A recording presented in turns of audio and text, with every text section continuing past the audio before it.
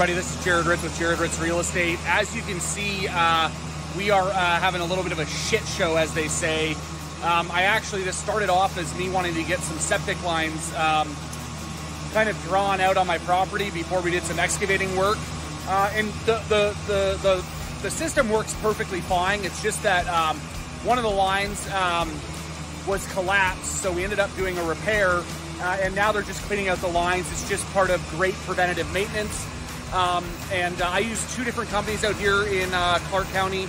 Um, I use Bloomquist Septic Inspections, and I also use Brad Septic. As you can see, they're doing a jetting process, which is essentially just putting pressurized air uh, down the drain lines and pulling up any debris that might be in them.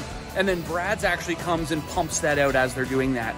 Um, it also helps that we have the excavator here to kind of uh, help dig in uh, some of the um, more difficult ground.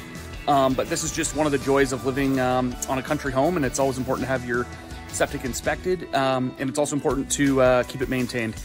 Uh, anyways, if you guys want more information on country properties uh, or just what it's like to live out here in North Clark County, uh, look me up on my Facebook page at Jared Ritz Real Estate. Cheers, everybody.